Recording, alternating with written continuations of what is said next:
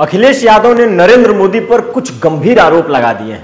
आपने सुना होगा कि जो बड़े बड़े सुपरस्टार फ़िल्म स्टार हैं या स्पोर्ट्स स्टार हैं, वो गाँव गोद लेते हैं उसका विकास के लिए, उसको अपना सेवा प्रदान करने के लिए। वैसे ही नरेंद्र मोदी ने भी अपने ही कंस्टिट्युएंसी के, बनारसी के सात गाँव, ककड़िया, जयपुर समेत सात गाँव उन्होंने गोद लिए हैं।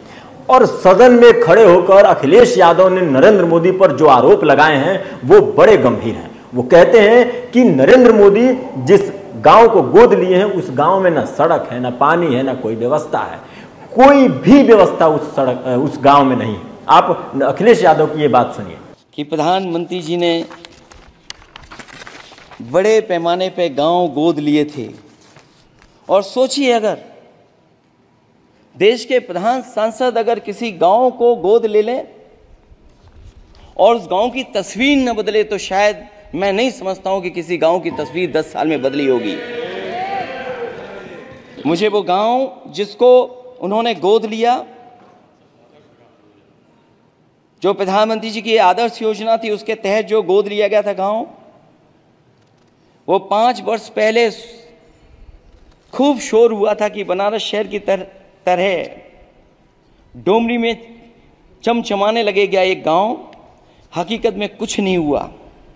उसकी दुर्दशा वैसी की वैसी है। जैसे था गाँव, वैसे ही का वैसा है।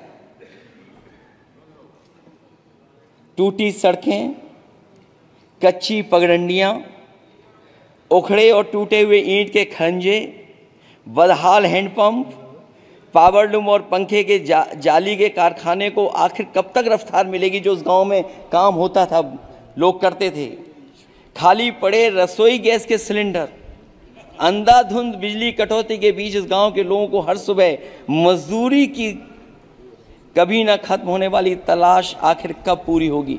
तो सोचिए एक गाँव की तस्वीर ये है जो गाँव कभी गोद लिया गया था उस गाँव की भी तस्वीर नहीं सुधर पाई है। जो भाजपा के स्मार्ट सिटी के झूठे सपने में गाँव के लिए कोई जगह नहीं है। अपने गाँव गोद लेने की जो बात कही थी, क्या वो भी जुमला था, अध्यक्ष जी? पता नहीं जिस गाँव को गोद लिया था, उसका नाम भी किसी को याद है कि नहीं? मैं नाम पूछ करके किसी को शर्मिंदा नहीं करूँगा, क्योंकि अगर नाम याद है तो ये तो और भी बुरी बात है कि अपने नाम याद रखने के बावजूद भी कुछ नहीं किया। जिसे गोद लिया जाता है उसे अनाथ बनाकर छोड़ देना अच्छी बात नहीं है।